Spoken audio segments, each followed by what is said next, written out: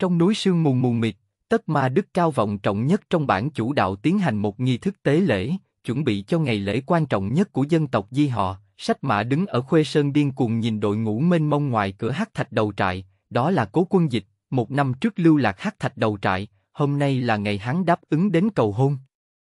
Lông ngựa màu đen trơn bóng, đường nét tứ chi lưu loát, đi đường uy vũ sinh uy. Cố quân dịch ngẩng đầu, xa xa nhìn nhau có thể nhìn thấy màu đỏ đen, trang sức bạc lấp lánh dưới ánh mặt trời.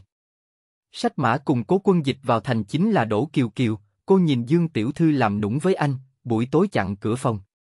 Người vùng trộm không thể vào nha. Cố quân dịch ông lấy thê tử, đôi mắt khẽ động. Kẻ ăn cắp thực sự phải bị trừng phạt. Đỗ Kiều Kiều cố ý chạy ra ngoài chơi cả ngày, còn cùng một vị tiên sinh chuyện trò vui vẻ, cố quân dịch giữ lại thủ hạ bảo vệ nàng lập tức đánh báo cáo. Ừ, cô biết cách xoa bóp anh.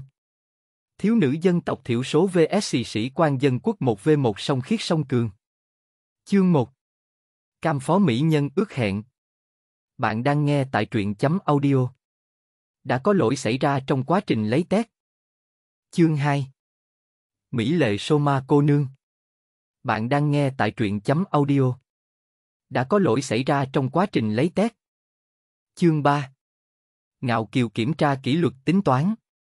Bạn đang nghe tại truyện chấm audio. Đã có lỗi xảy ra trong quá trình lấy test. Chương 4 Tử lượng quá cùi bắp ngủ không được. Bạn đang nghe tại truyện chấm audio.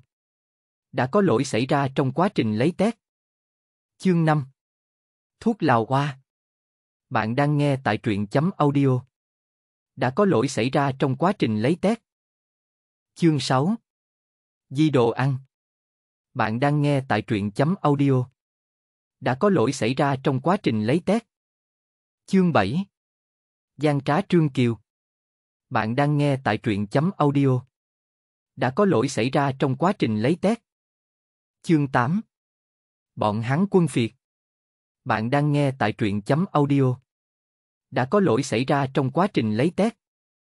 Chương 9 Giảng lược hôn lễ. Bạn đang nghe tại truyện chấm audio. Đã có lỗi xảy ra trong quá trình lấy test. Chương 10 Cuối cùng có tân nương xinh xắn. Bạn đang nghe tại truyện chấm audio. Đã có lỗi xảy ra trong quá trình lấy test.